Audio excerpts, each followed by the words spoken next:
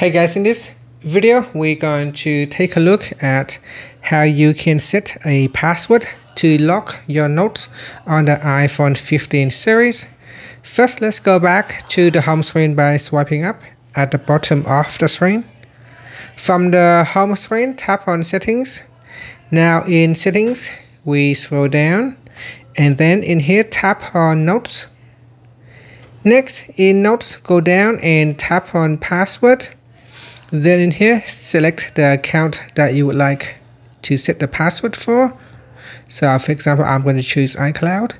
And in here, by default, it's set to use uh, passcode.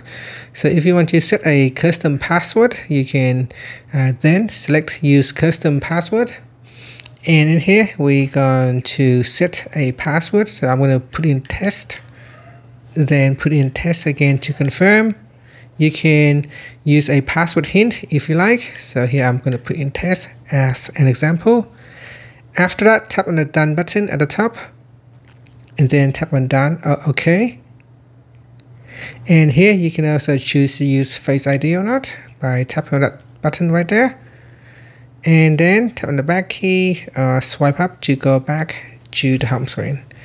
Now in here, if you want to lock your note, so here if we're going to lock the note and you can see if I unlock it so it's going to try to use Face ID first. If Face ID fail, then you can manually enter the password.